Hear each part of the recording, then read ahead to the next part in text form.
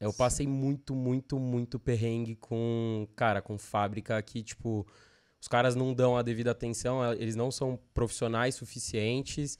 É, e aí ele, querendo ou não, ele acaba, né, tipo, tem atraso, ou ele acaba entregando uma coisa completamente diferente daquilo que você chegou a pedir. Uhum.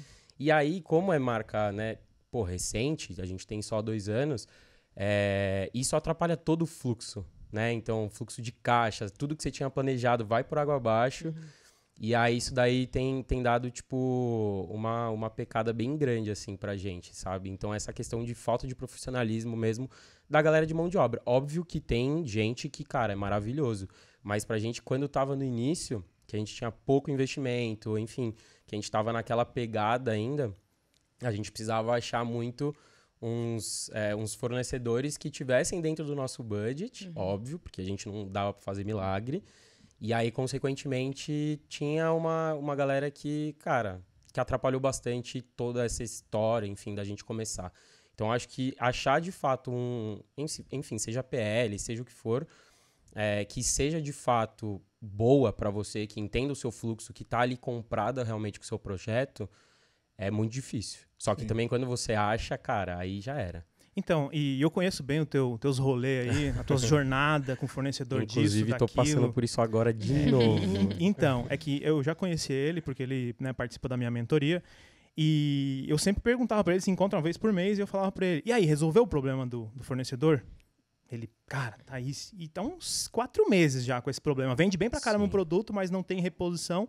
E realmente, isso é algo que atrapalha muito as marcas que estão começando e as marcas pequenas, que não são grandes marcas, porque querendo ou não, tem fornecedor excelente no Brasil, mas uhum. tipo qualidade melhor do mundo. Uhum. Tranquilamente eu falo isso, porque eu conheço várias indústrias gigantescas que produzem para fora, inclusive.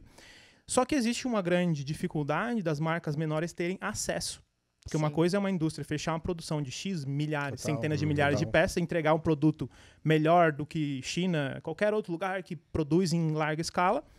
É difícil colocar uma pequena produção na esteira de produção, dentro Sim. da indústria. Aí, consequentemente, a galera que está começando, que tem uma marca menor, tem que fazer nos fornecedores menores também, que aí já fica um conselho para essa galera aí que é fornecedor, eles querem abraçar todo mundo. é. Eles querem fazer para a marca do João, do, de todo mundo. Ah, eu faço, faço, beleza, fechou. Paga a entrada aí que eu já boto em produção. É mais ou menos assim que funciona. Uhum. Então a galera tem que ficar muito atento, porque é. de fato existe um mercado gigantesco, crescendo pra caramba, indústrias incríveis, empresas incríveis, mas muita gente querendo abraçar o mundo sem dar conta ainda. Então, Total. empresas, se organizem, se estruturem, porque esse mercado tá crescendo pra caramba. Eu já tive, tipo, situação que o meu fornecedor perdeu o piloto, Perdeu, Poxa. tipo, ele entregou para mim uma, uma coleção que a gente tinha feito com, tipo, furo na calça, Caraca. tava descosturado, tipo, e a gente, obviamente, a questão de, de dar o double check realmente na peça é total da, da fábrica, uhum. entendeu? Tem que chegar pra gente perfeito, total. porque eu não vou ficar abrindo uma por uma para ver se tem BO ou não, é. né? Então, enfim, e aí quando a gente começou a, de fato, vender essa peça, chegou um monte de cliente pra gente e falou assim, pô, chegou tal jeito. Eu falei assim, ou oh, devolve tudo, vai refazer, porque é complicado, ainda mais pra gente que a gente, naquela época, tinha também um fluxo de caixa muito pequeno.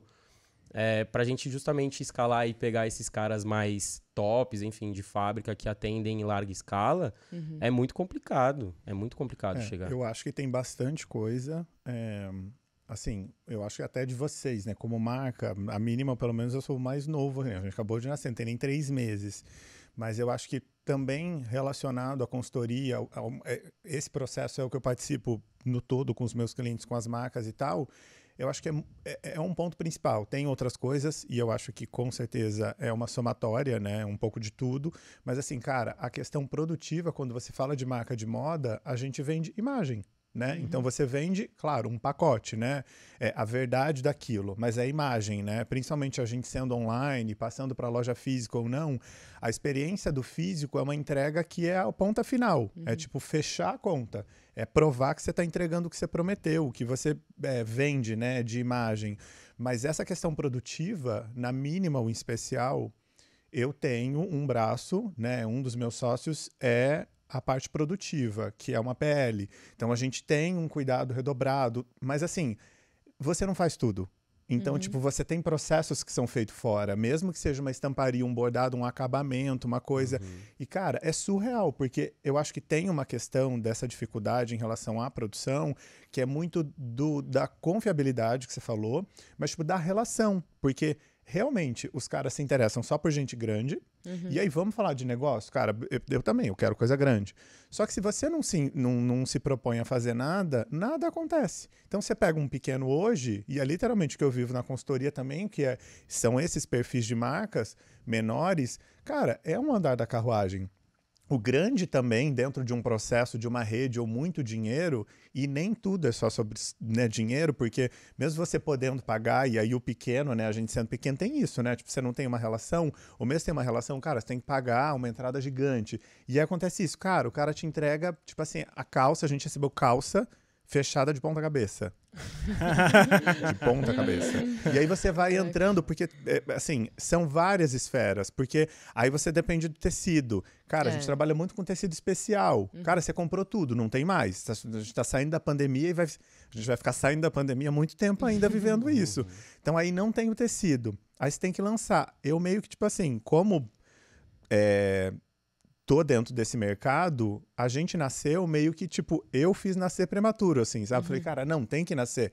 Mas assim, a gente nasceu outubro, novembro, vai mais ou menos. Eu tô com a coleção chegando agora, até agora. Tipo assim, teve lavanderia que o cara errou três vezes Caraca. A cor. E aí, tipo, o cara me entregou, tipo, a t-shirt lavada, e aí a ribana ele errou. Você tá assistindo mais um corte do Marcas Podcast e para você assistir esse episódio completo, é só você ir lá no YouTube e procurar por Marcas Podcast e já aproveita e já se inscreve que tem muito episódio legal.